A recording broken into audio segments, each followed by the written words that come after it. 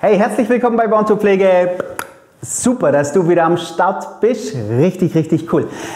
Hat dich oder interessiert dich die Meinung von dem Schulleiter, was er über die generalistische Pflegeausbildung zu sagen hat? Ich bin heute bei einem wunderbaren Schulleiter, äh, Manuel Benz, zu Gast und ähm, er wird dir erzählen, wie er so die generalistische Pflegeausbildung sieht. Ähm, wie, wie ihr alle wisst, sind 2020 sind die ersten Kurse gestartet und jetzt im Jahr 2023 sind die ersten Pflegefachmänner und Pflegefachfrauen an den Start gegangen. Und er wird ganz authentisch und ehrlich darüber reden, ähm, wie er die Abbrecherquote sieht, was er über die fehlende Spezialisierung in den einzelnen Professionen von Kinderkrankenpflegern, Krankenpflegern und auch Altenpflegern sieht. Ähm, und ähm, er wird so einen kleinen Ausblick wagen, ähm, was es auch zu verbessern gilt. Ja, weil man kann ja nicht davon ausgehen, dass wenn man was neu beginnt, dass alles völlig reibungslos läuft. Deswegen, du kannst schon richtig gespannt sein, was Manuel Benz zu sagen hat. Ähm, genau. Und wie immer, los geht's nach dem Intro.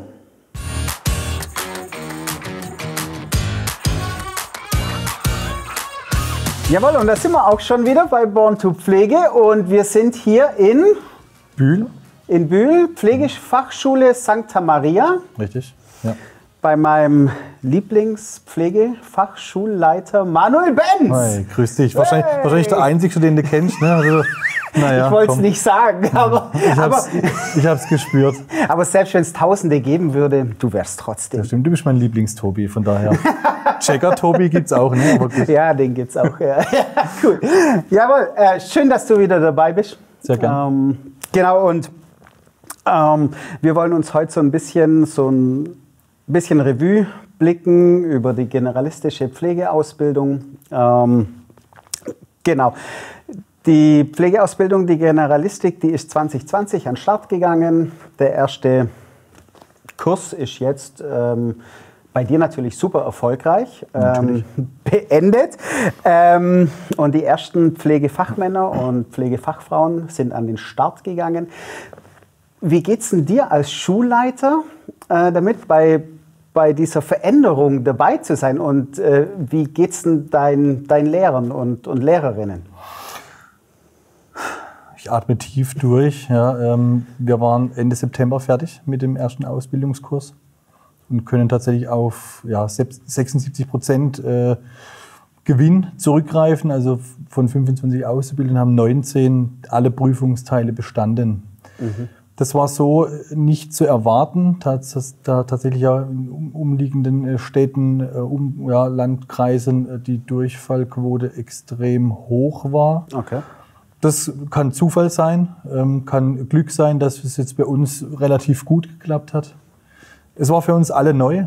Ja, und ähm, ich muss leider auch nochmal das Thema kurz Pandemie in dem Rahmen aufmachen, mhm. dass diese Ausbildung schlichtweg nicht schlechter hätte starten können, fast gleichzeitig mit der Pandemie, mhm. da wir schlichtweg auf äh, keine Erfahrungen zurückgreifen konnten, auch nicht im Online-Unterricht. Wir kein Teambuilding mit den Kursen machen konnten. Es konnte nie wirklich ein Kurs entstehen, da wir uns eigentlich vor mhm. den Bildschirmen hauptsächlich getroffen haben. Bei praktischen Übungen war es nicht möglich, äh, in einem gemeinsamen Raum erst später dann sich zu befinden. Die Praxisbegleitungen haben äh, zum Teil online stattgefunden, in Gesprächen oder vielleicht auch am, im Demoraum an den Puppen. Allein die Generalistik war schon eine Hürde und in dieser Zeit mhm. äh, noch mal mehr. Ich meine, über diese Zeit brauchen wir nicht mehr groß sprechen.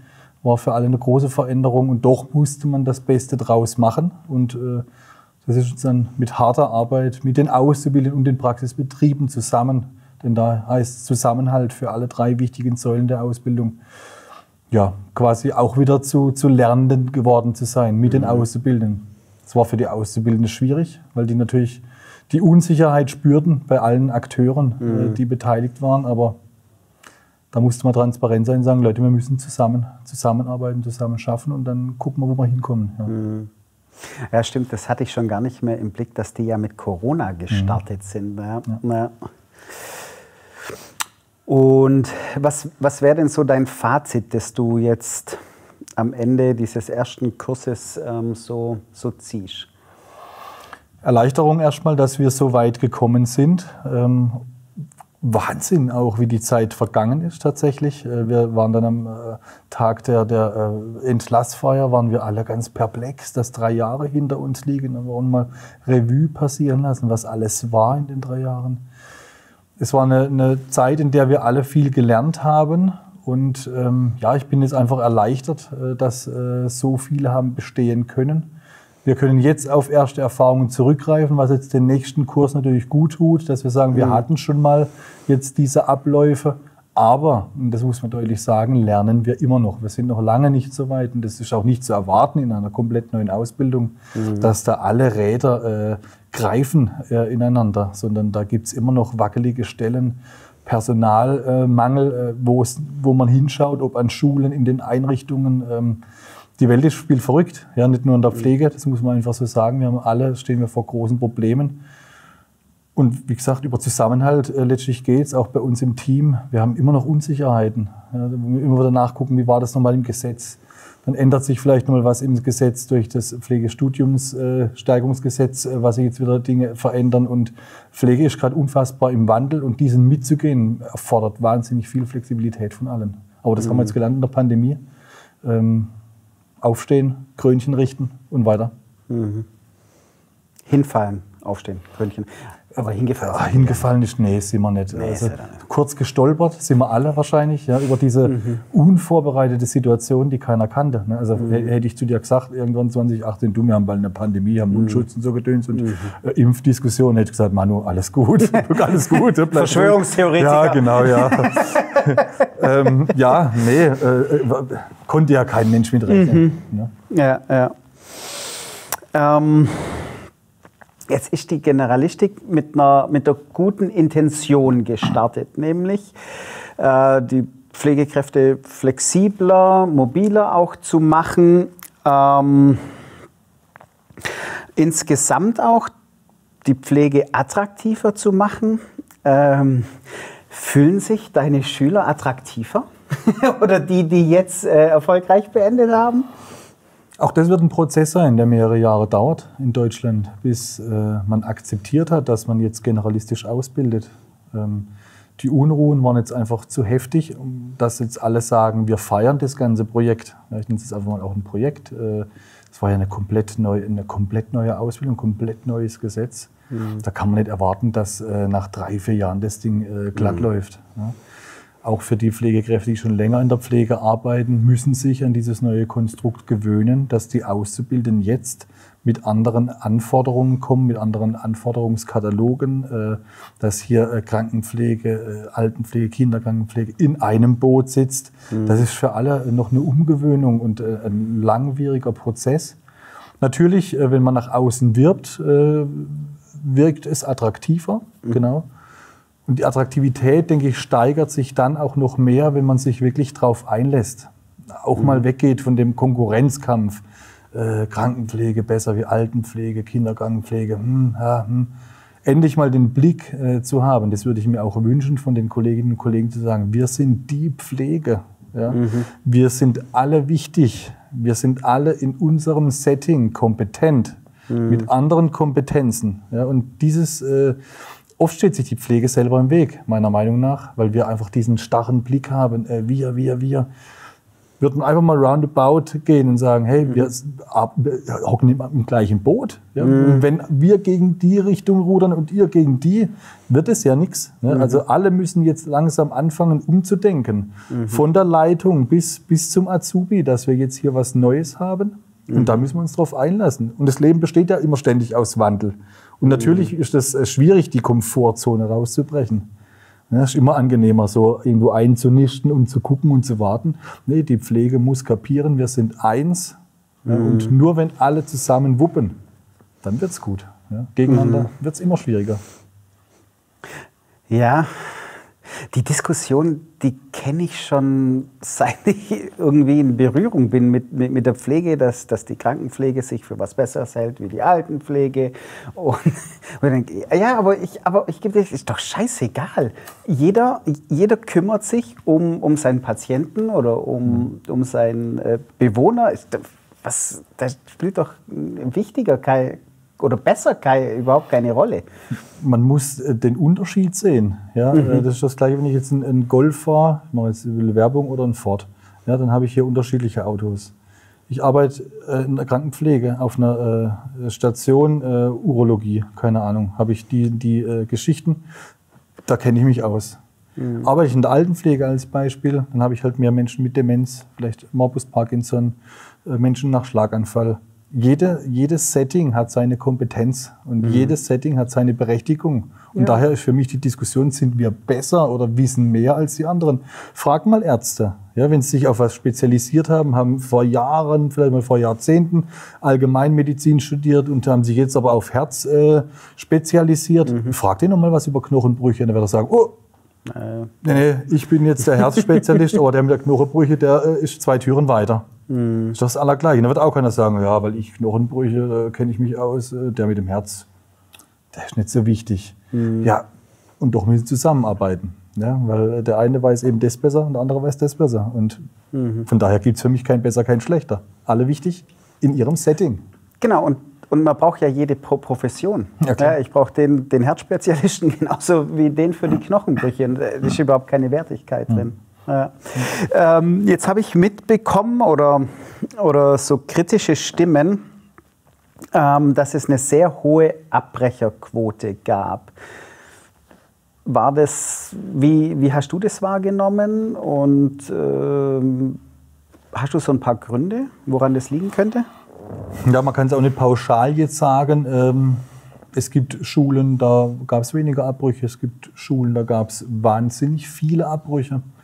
Ich könnte mir vorstellen, die Pandemie hat ähm, eventuell auch den ein oder anderen Abbruch verhindert, da der Stresspegel eventuell ein anderer war, wie wenn sie immer in der Schule gewesen wären, vom Tempo her. Wir hatten ein anderes Lerntempo durch den Online-Unterricht. Mhm. Gab mehr Leistungsnachweise, die man alleine zu Hause bearbeiten konnte, weil es gab schon keine anderen Möglichkeiten, an Noten zu kommen. Das hat vielleicht den einen oder anderen unterstützt sogar, mhm. was das angeht. Aber ansonsten denke ich, merken die, die Auszubildenden schon, ähm, dass man äh, zu Beginn mit dem Orientierungseinsatz in der Einrichtung ganz gut reinkommen kann. Mhm. Aber sobald dann die Fremdeinsätze starten in den anderen Settings äh, und man auch da wieder vielleicht aus der Komfortzone raus muss, äh, seines Mutterhauses in Anführungszeichen, mhm. man muss sich immer wieder auf neue Situationen einlassen, neues Team, andere Umgebung, ähm, mhm. anderer Ton. Ähm, Altenpflegeheim und äh, Klinik kann ein Unterschied sein im Umgang äh, miteinander. Klar, an, wieder ganz andere Abläufe. Mhm. Dann plötzlich bin ich auf der Pädiatrie oder in, oder in einer Kindertagespflegestätte. Dann mhm. muss ich äh, ambulant wieder fahren. Dann muss ich in eine Psychiatrie, je nachdem, wo ich ja mein Mutterhaus habe. Es kommt dann darauf mhm. an, wo die Fremdeinsätze stattfinden, beziehungsweise zum Schluss der Vertiefungseinsatz dann der Ausbildung. Ja, es gibt viele Gründe. Ähm, Schwangerschaften haben wir natürlich. Belastung, ähm, familiäre Veränderungen, ähm, psychisch auch. Ja, ist auch schon ein großes Thema. Ähm, wir haben ja auch äh, Unterschied, ein ganz buntes Feld an Menschen, mhm. die äh, die Ausbildung starten. Ähm, ja, dass man einfach manche Themen nicht verarbeitet hat, die man aber schon mitgebracht hat. Mhm. Das, ja, vom, einfach vom Umfeld her. Ähm, okay. Ja, oder einfach, wo man merkt, äh, der Anspruch ist jetzt für mich gerade zu hoch. Es passt jetzt gerade nicht in mein Leben, weil sich eben auch Umstände verändern.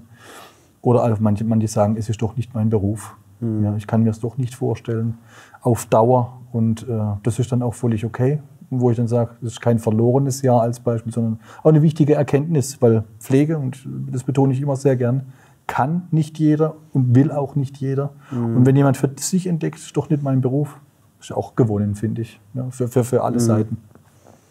Ja, viel besser, wie, wie wenn man es ähm, durchzieht und mhm. dann irgendwie immer unzufriedener und, und unglücklicher wird. Und, aber keine Alternative hat. Ja. ja, das Interesse sinkt ja auch, wenn, wenn man feststellt, äh, ich interessiere mich ja. nicht so für den menschlichen Körper oder äh, ja, dann wird es zäh ja, und mhm. sich durch eine, eine Ausbildung quälen, wo man mit Menschen arbeitet, mhm. zweifelhaft. Und äh, das wird dann auch am Ende nicht gut. Und das merkt man auch, wenn man die mhm. Schüler in der Praxis begleitet oder die Rückmeldungen der Einrichtungen oder auch das Gefühl, äh, was die einem dann vermitteln. Also quälen soll sich keiner in einer Ausbildung, wo man mit Menschen arbeitet. Das wäre mhm. fürchterlich für alle. Mhm. Ja. Wobei, ähm, du hast es vorhin mit mit den ähm, Praxiseinsätzen erwähnt, in, wenn man nicht im Mutterhaus ist, sondern auf einmal Kindertagespflege oder im, im Krankenhaus sein muss. Ähm, ich halte Flexibilität in der heutigen Zeit für einen unheimlich guten Wert. Mhm. Ja, also weil wer heutzutage nämlich flexibel ist, der ist ja irgendwann weg vom Fenster und, und durch das ähm, durch diese drei verschiedenen Professionen und immer da, immer da, immer mal da, lernt man ja eigentlich flexibel zu bleiben. Ja, also das ist definitiv ein Gewinn äh, der Ausbildung, wenn wir auf das Thema Attraktivität kommen. Wir haben auch einige Auszubildende, die dann festgestellt haben, nach der, äh, nachdem sie dann fertig waren, haben in der Langzeitpflege, also in dem Pflegeheim, einen Abschluss gemacht dann am Ende dass sie sich äh, in der Klinik sehen oder vielleicht in der äh, Kinderkrankenpflege und mhm. haben sich dann dort beworben, haben auch Chancen bekommen. Das weiß ich natürlich, habe ich mitbekommen. Mhm. Wir erheben da auch Statistiken für unser Qualitätsmanagement, der Verbleib, äh, wie ist der Verbleib danach. Mhm. Und äh, kriege von vielen mit, dass sie dann erstmal Fortbildungen angeboten haben bekommen und äh, dann sich auch langsam äh, in das neue Umfeld nochmal einzuarbeiten, weil gerade der pädiatrische Einsatz sehr kurz stattfindet. Mhm. Das ist ein Manko, mhm. ja, da kommen wir vielleicht in der späteren Sequenz nochmal drauf, wo ich auch sage, das ist zu wenig. Da geht äh, Kompetenz verloren. Äh, Kinderkrankenpflege finde ich einen ganz wichtigen Punkt. Äh, Kinder sind unsere Zukunft. Ja, und äh, auch da müssen kompetente Menschen auf den Stationen sein, die sich mit mhm. den ganz Kleinen, mit den etwas Größeren gut beschäftigen können und auch eine Stütze für, für, für die Eltern sein können. Ja, nicht nur für die Kinder, sondern gerade mhm. in der mhm. Pädiatrie bedeuten auch viel die Eltern mit, ja, um den Eltern Ängste zu nehmen. Und wenn die natürlich merken, da ist jetzt jemand, der mir so so lala, so, so äh, mhm. brühwarme Geschichten da erzählt, äh, wo man dann sagt, äh, also die äh, fasst mein Kind nimmer an. Also auch da ist es mhm. wichtig, einfach gut zu sein. Und die Möglichkeiten sind natürlich da. Das heißt, äh, nach der Ausbildung sehe ich, beginnt äh, der nächste wichtige Schritt, Erfahrung sammeln. Mhm. Und eben, ich kann flexibel sein. Mhm. Ja, Fortbildungen, das fordert das Ganze heraus. Lebenslanges Lernen finde ich auch sehr wichtig. Mhm. Und Pflege muss sich jeder, der in der Pflege arbeitet, regelmäßige Fortbildungen machen, um wirklich auf, dem neuesten Stand zu sein, auf dem neuesten wissenschaftlichen Stand, um unsere Profession auch äh, wirklich professionell ausüben zu können. Und äh, das gibt die Generalistik und die Pflege her und das ist für alle eigentlich sehr attraktiv. Mhm. Äh, nicht auf einem Standpunkt bleiben zu können, sondern ich kann breit gefächert viele, viele Themen bis hin zum Studium, dass man mhm. irgendwann als Schulleiter da sitzt ja, oder als Pflegedienstleitung oder mhm. Worauf man Lust hat, wo man sich mhm. entdeckt und äh, Neugierde äh, mhm. ja, aus sich rauskitzeln kann. Spannend und attraktiv. Mhm. Pflege.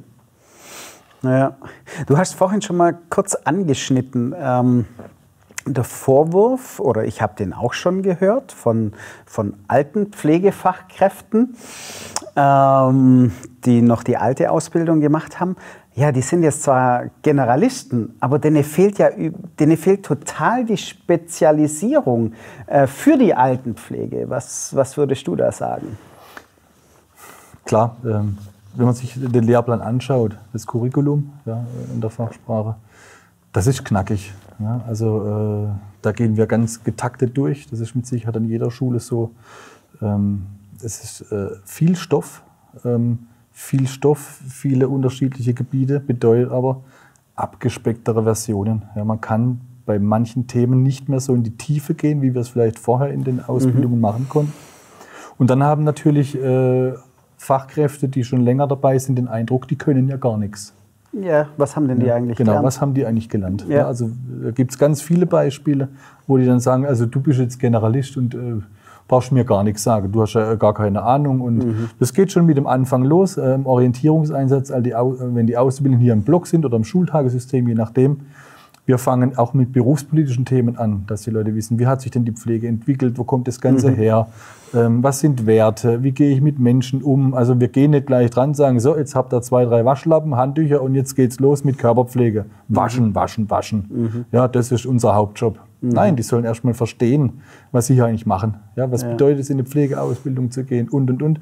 Und wenn die dann vom, von der Schule zurückkommen, fragen die so, und Jetzt kannst du dann gleich da mal äh, drei, vier, fünf, sechs Leute waschen und dann sagen die, ja nee, so weit sind wir jetzt in der Schule noch nicht. Was lernt ihr denn überhaupt? Mhm. Habt ihr lernt da gar nichts, über was redet ihr denn da? Mhm. Ah ja, wir haben da halt ein bisschen über Berufspolitik und wo das Ganze herkommt. Ach, das ist doch, das ist doch da geht's schon los. Ne? Da war schon die Diskussion.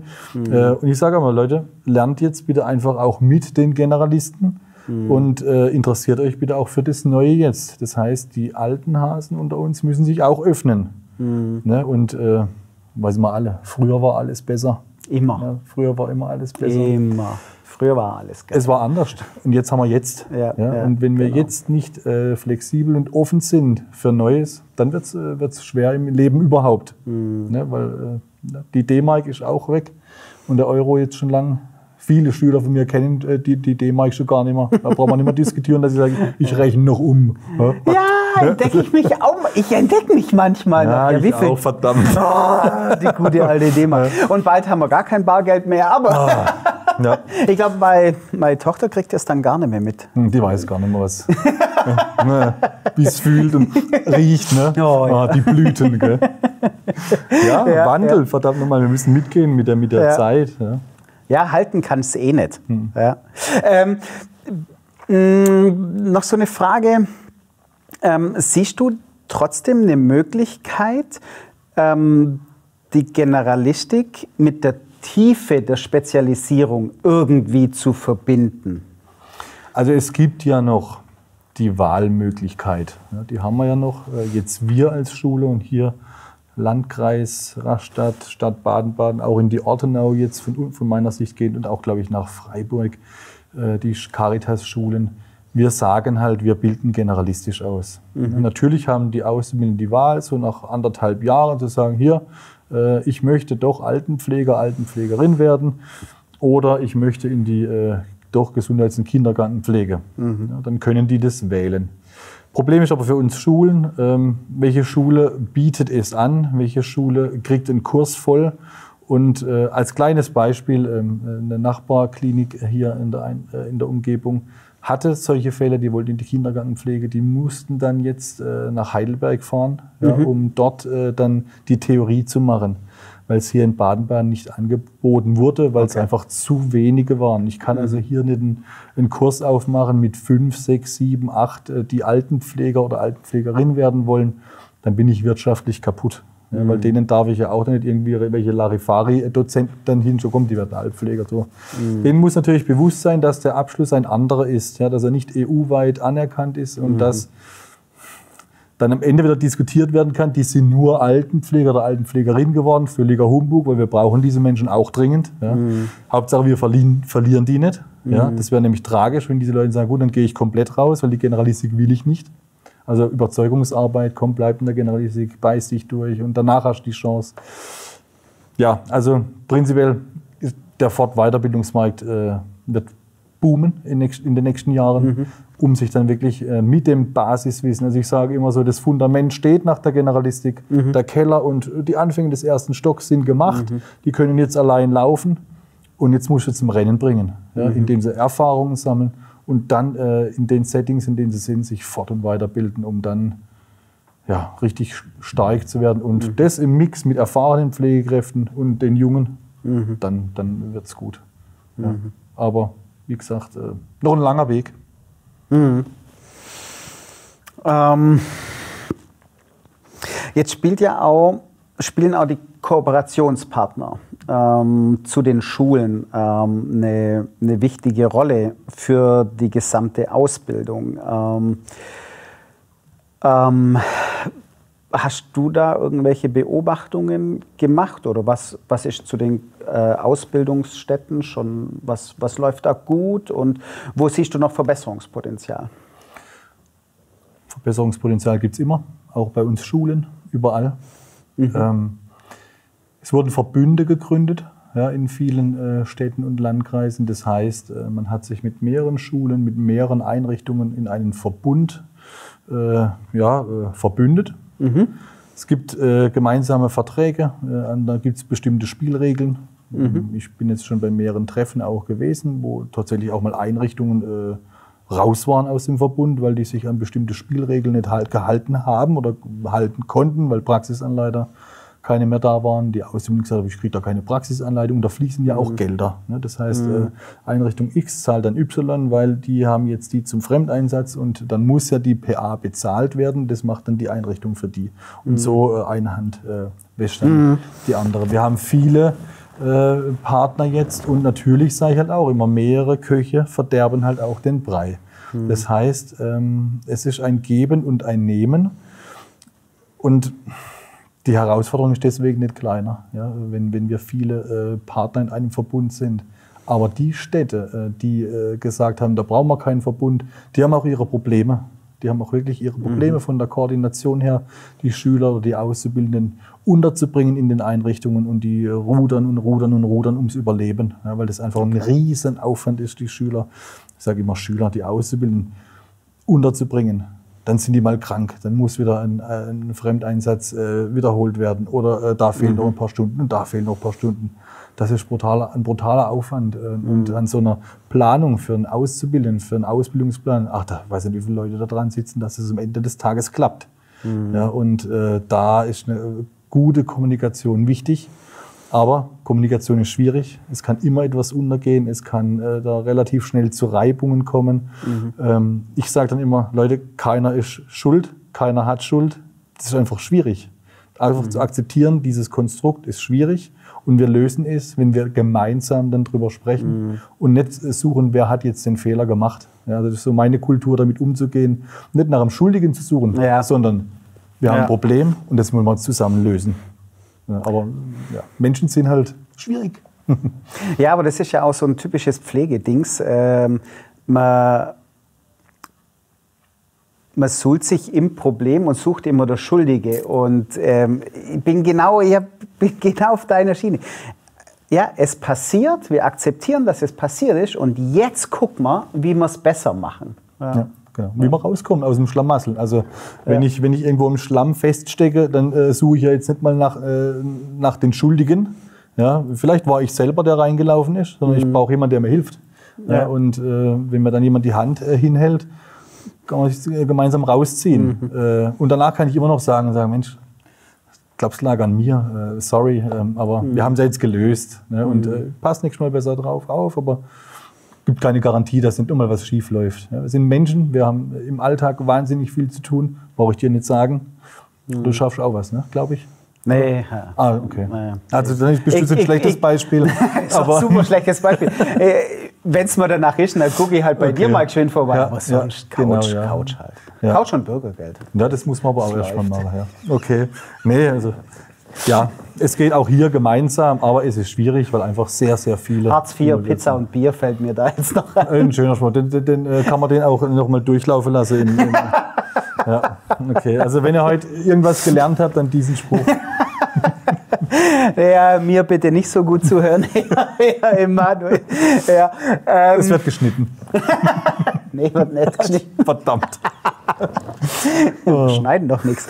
Ähm, pass auf, wenn du jetzt in die Zukunft blickst, ja, und ähm, du hast schon ein bisschen beschrieben, woran es hakt, hm, welche, welche Hürden siehst du bei, bei dieser ganzen Ge Generalistik? So aus deiner Sicht als, als, als Schulleiter.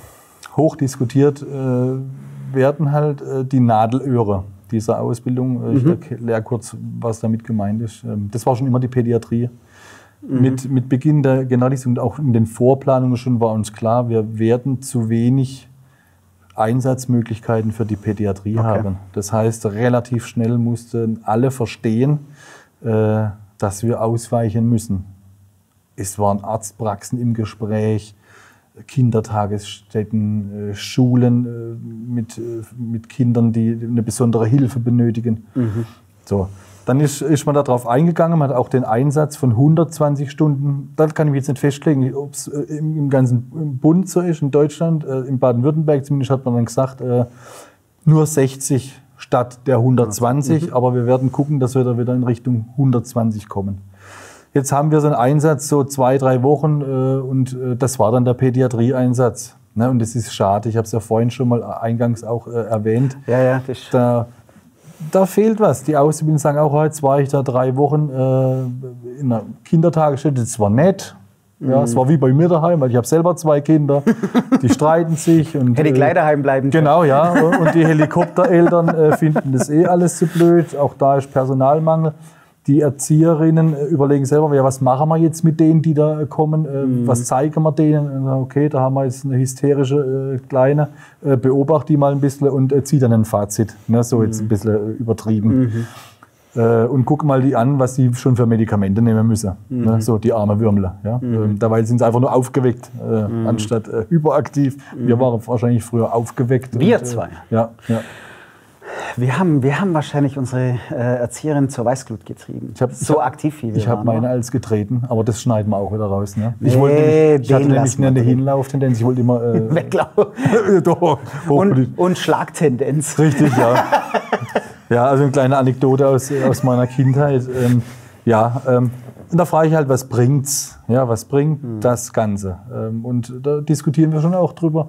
Und auch ich sage immer wieder, gehört war das sehr kritisch, was ich sage, die Kinderkrankenpflege, Gesundheitskinderkrankenpflege wirklich in dieses Konstrukt. Äh, natürlich, es wird so bleiben. Aber ich denke, äh, da muss man noch ein bisschen was drehen, auch im Lehrplan. Es ist sehr wenig Inhalt.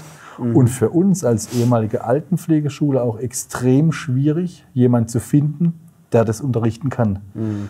Weil prinzipiell die Voraussetzungen Bachelor, Master, ja, äh, dass das Ganze wirklich hoch anerkannt wird von den Regierungspräsidien in unserem Fall. Aber diese Leute liegen nicht auf der Straße. Ja? Mhm. Das heißt, äh, ich als ehemaliger Altenpfleger, oder ich bin ja noch Altenpfleger, habe nie äh, in der Kindergangpflege gearbeitet. Ich würde mich an das Thema nicht rantrauen. Mhm. Weil es ist einfach besser, wenn da jemand kommt und sagt, hey, ich mache das schon seit fünf, sechs, sieben, acht Jahren. Ich habe das mhm. gelernt und äh, ich hatte schon äh, Babys im Arm und ich war bei einer Geburt dabei und und und und ich äh, kann einfach auf Erfahrungen zurückgreifen. Mhm. Finde ich viel wertvoller, wie wenn ich jetzt irgendwas erzähle vom Pferd ja, mhm. und äh, ja, ein Kind hat Schnupfen, dann läuft halt die Nase. So, kommen wir zum nächsten Thema. ähm, so, ne, da haben wir nichts davon. Mhm. Also das ist eine ganz wichtige Schraube. Jetzt wird es äh, auch immer kritischer, äh, je nachdem, in welchen Städten äh, unterschiedlich, die ambulante Pflege. Mhm. Nicht alle ambulanten Pflegedienste wollen ausbilden oder haben mhm. die Kapazität auszubilden, weil Praxisanleiter fehlen. Mhm. Das heißt, auch hier wird der Gürtel immer, immer enger. Und auch in, auf den Akutstationen mhm. wird es langsam schwieriger. Abbau von Krankenhäusern bedeutet weniger Möglichkeiten, äh, die zu verteilen. Mhm. Ne? Also das ist auch so, eine, so ein Gegenpol, der nicht ganz zu dem Konstrukt passt. Mhm. Und wenn irgendwann auch die Akuteinrichtungen sagen, wir haben jetzt keinen Platz mehr, das ist jetzt mir passiert aktuell, mhm. Ähm, dann kommt es wieder drauf an, haben die Azubis, haben die einen Führerschein? Wo wohnen die? Mhm. Wenn die ein bisschen dörflich wohnen, ja, dann müssen sie flexibel sein. Dann müssen sie halt mal da eine Wohnung und dann sind sie da ein paar Wochen und äh, dann sind wir beim Thema Attraktivität wieder. Mhm. Ja, viele haben dann noch Kinder äh, und äh, dann geht es nicht wegen der Arbeitszeit. Und, und, und, man muss auch hier neu, neu überlegen, äh, dem, dem Stand 2024 entsprechend, auch den Problemen, die halt Auszubildende mitbringen, weil sie halt sind, mhm. wie sie sind. Viele äh, ja, wir haben ja auch Migranten da, die, die kommen nicht mit einem Auto hier an. Ja, die haben noch keinen Führerschein. Ja, ja. Die ja, leben ein paar Wochen, Monate in Deutschland, äh, haben die, äh, die, die Qualifikation, hier anzufangen.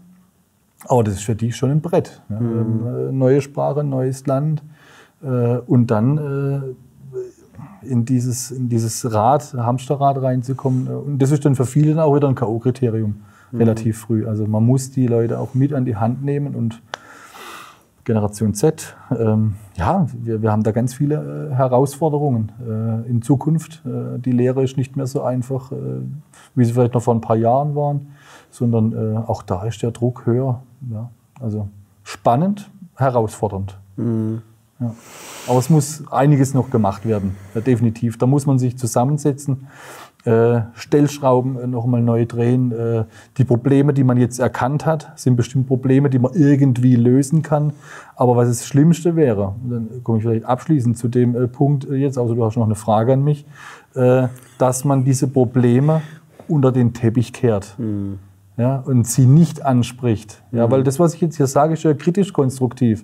Ich mhm. sage nicht, das ist alles blöd, ne, sondern ich sage, mhm. das ist gut, aber es wäre eventuell mit einer anderen Umsetzung vielleicht noch besser. Und da mhm. müssen wir hin.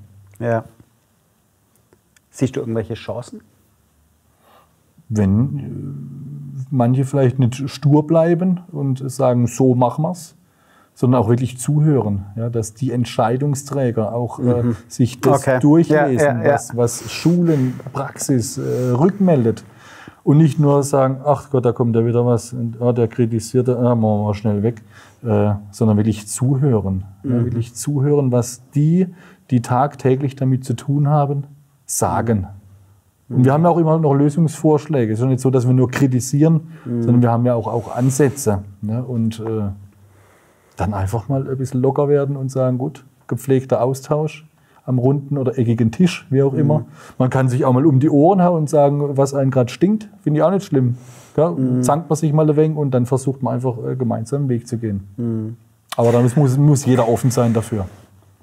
Ja, ich glaube, das ist, das ist total entscheidend, dass ähm, die, die es umsetzen und die, die es ausführen, dass die auch zu Wort kommen. Weil oft die Entscheider, die sind, die sind ja zu weit weg. Ja? Ähm, und ja, dass, dass die eben Ideen einbringen, weil die kennen es aus der alltäglichen Arbeit und, und wo auch die Punkte sind, die jetzt halt tatsächlich, wo es, knackt und, und wo es halt hakt. Ja, das kommt dann auch immer auf den Ort drauf an. Wo, wo, wo bin ich? Wo ist meine Schule? Wo sind unsere Einrichtungen? Wie leben wir? Wie ist das Umfeld? Ist es auf dem Land? Äh, ist es mitten in der Stadt? Das sind viele Faktoren abhängig davon. Mhm. Wo ist die nächste Klinik? Wo wäre die nächste Pädiatrie? Wo sind noch ambulante Pflegedienste? Ähm, es kann auch sein, dass man äh, so schlecht vernetzt ist, dass man tatsächlich im Umkreis äh, es von vornherein schwierig ist, das alles gut hinzubekommen. Mhm. Wo wohnt der Auszubildende? Äh, hat er ein Auto, hat er kein Auto? Wie fährt mhm. die Bahn? Wie fährt der Bus? Kann jemand zum Frühdienst kommen? Kann jemand... Mhm. Und, und, und, ja. ja. das sind so viele Dinge und man muss einfach nicht sagen, äh, du wolltest die Ausbildung so, dann musst du dich jetzt darauf einlassen. Klar, schon, ich suche es mir selber aus, was ich mache. Mhm. Aber wir müssen über diese äh, Probleme reden Mhm. Denn wenn es uns in Zukunft wichtig ist, äh, dass die Ausbildung noch von vielen gemacht wird, weil die sind ja, die, die aktuell in der Ausbildung sind und die es jetzt gemacht haben, sind ja die, die Werbung machen. Mhm. Ja, nicht ich. Ich schon, gar. Ich kann sagen, alles easy peasy, kommt in die Pflege. Dann auch, oh, irgendwas hat einen Haken, der ist immer so gut drauf, äh, irgendwas stimmt mit dem nicht. Ja, äh, kann nicht sein, der will nur Schüler an der Schule. Nee, muss ja ehrlich miteinander umgehen. Ja, und einfach mhm. sagen so, die, die, die, die, die Schwierigkeiten haben wir und die müssen wir angehen. Und mhm. wenn wir die aus dem Weg geräumt kriegen, so. Hm. Wenn es nur so einfach wäre, gell? Ja, aber es geht eben nur im Diskurs. Hm. Ja? ja? Und dass eben beide Seiten zusammenkommen. Mhm. Ja. ja. oder mehrere Seiten. Aber ja. da gehen ja schon die Streite. Oder Ebenen. Ja, und das, das, ist eben so. Pflege endlich mal als eins denken. Ja? Mhm. Und nicht nur als wir sind die, wir sind die, wir sind die. Wir sind die. Mhm. Ja? Das ist schon der erste Schritt. Mhm. Dass, was, was passiert unter den Schulen? Ja, wir bieten jetzt alle das Gleiche an. Was passiert? Konkurrenzkampf. Jeder will ja äh, Schüler haben. Ja, früher war es noch so, okay, die Krankenpflege macht die Gesundheitskrankenpflege, sind keine mhm. Konkurrenten für uns Altenpfleger. Mhm. Jetzt, ah, ja, okay. jetzt stehen jetzt wir schon. in Konkurrenz. Ja, ja. Natürlich sitzt man dann bei den Schulleitertreffen an einem Tisch und oh, Stößchen und wie läuft es bei euch so? Ja, und, und dann, und wie viele Schüler habt ihr denn gerade so? Oh, die haben mehr wie wir. Dödem. Ja, so, warum haben die mehr? Ne? Was machen wir falsch? Es kann, es kann positiv sich auswirken, weil jeder versucht immer äh, konkurrenzbelebtes gut Geschäft, zu sein. Ja. Aber wenn es gegeneinander wird, wird es dann auch wieder eklig. Ne? Mhm. Ähm, das ist kein, kein Ponyhof. ja? Das ist kein Schlotzer. Na, genau, ja. das wollte ich auch erst sagen. Aber als Pferdeallergiker habe ich jetzt den Ponyhof genommen. Vermeide ich das. Ähm, pass auf, ich hatte noch eine Frage an dich. Ich muss geschwind schauen ähm, weil sie mir abhanden gekommen ist. Ähm, genau, die einjährige Ausbildung hm. zum Pflegehelfer, zur Pflegehelferin. Ähm, was ist da der Unterschied zur bisherigen? Und Wem würdest du die Einjährige empfehlen? Also auch hier sind wir ja gerade äh, dran, ähm, in den Bundesländern äh, eine neue einjährige Ausbildung auf die Beine zu stellen. Mhm. Die Länder haben sich auch schon schwer mit diesem Thema beschäftigt. Ja, im Rahmen des Föderalismus haben ja die Länder auch oft die Hoheit, dann da bestimmte Dinge noch mit mhm. zu entscheiden, an der Ausbildungs- und Prüfungsverordnung etc. pp. Finanzierung und so weiter. Jetzt hat sich der Bund auch hier mit, äh, mit äh, reingetan und äh, vermutlich werden die Länder jetzt sagen, okay, dann lassen wir das. Wenn der Bund äh, eine einheitliche Sache hinbekommt, machen wir das. Das heißt, im Juli 24 sollen hier die aktuellen äh, Dinge kommen. Das Ding soll da eventuell in Kraft treten und man kann, wenn man will, also alles kann, nichts muss, schon äh, im September, Oktober mit, den, mit der neuen generalistischen Pflegehilfeausbildung, wie sie in Baden-Württemberg mhm. heißen wird, oder Assistenzausbildung, ist auch wieder ein bisschen unterschiedlich, glaube ich, in den Bundesländern starten. Wir persönlich als Caritas-Fachschule haben uns jetzt schon dagegen entschieden. Wir werden auch dieses Jahr nochmal den Altenpflegehilfezug fahren, den wir auch mhm. vorher gemacht haben, weil wir die Umsetzung nicht in so kurzer Zeit schaffen. Ja, das ist mhm. schlichtweg mhm. so. Dafür fehlt äh, Personal, dafür fehlen Ressourcen. Ähm, das Ganze will man ja auch gescheit anfangen und nicht irgendwie so wie Shivashi. Die ganze Sache wird mehr der Generalistik angepasst. Das ist sinnvoll, dass mhm. wir auch Menschen hier äh, aufnehmen können mit einem Hauptschulabschluss die dann über das Einjährige ähm, die Möglichkeit haben, als Einjährige weiterzuarbeiten. Auch die werden in Zukunft wichtig sein. Aufgrund des neuen Pflegepersonalbemessungsgesetzes nach der Rotgang-Studie werden wir mhm. viele gute Hilfskräfte und ja. Helfer brauchen. Ja. Die werden sehr wichtig sein weiterhin auf der Station. Oder ah, das sind die äh, Indianer. Das sind doch die, also Ne, wirklich, das sind doch die, die an die Bewohner dran sind. Also noch mehr wie, wie auf die Fachkräfte. Die ja? Zukunft wird so aussehen, dass die ja. Fachkräfte tatsächlich äh, managen. Ja. Da führt auch die Generalistik schon ein Stück weit dazu hin. Mhm. Im Hintergrund äh, auch oder die Behandlungspflege, auch hier vorbehaltene Tätigkeiten und so weiter. Das spielt, also passiert gerade ganz, ganz viel äh, mhm. Äh, auf der Ebene, weil man merkt, man muss jetzt was tun mhm. und versucht da viele Dinge äh, mit ins Spiel zu bringen. Von daher, ähm, Helfer sind wichtig. Ja? Und mhm. äh, die, ja, sind wir einfach mal gespannt. Äh, das Curriculum kennen wir schon etwa, so den Aufbau der, äh, der, der Kompetenzbereiche. Und äh, ich glaube, das wird eine ganz gute Sache. Ähm, und unterscheidet sich dann natürlich auch inhaltlich zu den jetzigen Helferausbildungen, mhm. die es aus der Gesundheits- und Krankenpflege gibt und aus der Altenpflege. Und das ist natürlich ein sinnvoller Weg. Ja. Und ich habe es richtig verstanden, der ist angepasst an die dreijährige generalistische Ausbildung. Ja. ja, ist ja auch sinnvoll. Nicht, genau. dass da zwei völlig ja. unterschiedliche Kanäle ja. auf, auf, aufgemacht werden. weil aktuell haben wir es einfach so, man kann, äh, wenn man jetzt eine Helferausbildung gemacht hat, äh, kann man verkürzt auch in die Generalistik. Bedeutet, äh, man könnte ein Jahr verkürzen und geht ins zweite Ausbildungsjahr. Ah, okay. Bieten Schulen an. Ich habe mhm. da meine eigene Meinung dazu. Da stehen auch viele so dahinter mit meiner Meinung, wo ich sage, tut es euch nicht an, weil die Unterschiede sind inhaltlich noch zu groß, um dann gleich ins zweite Ausbildungsjahr mhm. Generalistik zu gehen. Schon nach vier, fünf Monaten dann die Zwischenprüfung zu machen, wäre für mich nämlich so, so ein Thema, wo ich sage, okay, das könnte Abbrüche fördern, ja, mhm. weil man muss einfach viel nachholen, hat noch keine Noten, hat mhm. Druck von Anfang an. Mhm. Die generalistische Pflegehilfeausbildung, die kann äh, dann abgezielter sein, dass man sagt, okay, es wäre vielleicht hier kein Problem mit einem gewissen Notendurchschnitt. Früher war der bei 2,5 ins zweite Ausbildungsjahr zu gehen. Mhm. Aber man muss äh, verstanden haben, dass das schon etwas anders läuft mhm. äh, und dass man dann halt schon einen erhöhteren Stress auch hat, auch die mhm. Einsätze nachzuholen. Und muss man dann sich genau anschauen, auch individuell. Ja. Mhm. Aber aktuell ja, bei uns weiter die Altenpflegehilfe in vielen Einrichtungen, die Krankenpflege in den, in den äh, Krankenhäusern. Passiert viel gerade. Ja. Mhm. Spannend.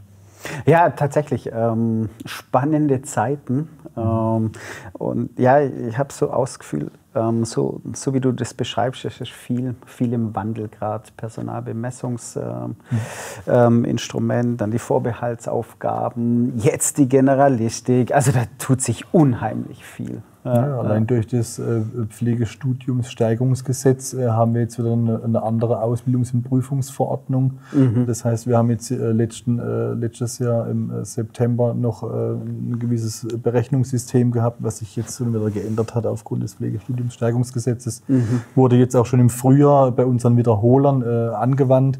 das heißt, auch hier haben wir schon wieder was Neues. Ja, mhm. und es sorgt halt immer alles für Verwirrung. Ja? Mhm. Und äh, wie gesagt, wir sind immer noch in dem Prozess, an das Neue zu gewöhnen. Das ist keine Routine. Ja, Keinerlei Routine. Und dann ja, kommt schon das nächste. Und dann äh, hast du das eine gerade so halb kapiert, mhm. kommt das andere wieder und dann sagst du so, hä, das ähnelt doch dem, wie man es mal zur Altenpflegezeit gemacht habe. Aber dann sage ich aber, Manuel, denk nicht so viel nach.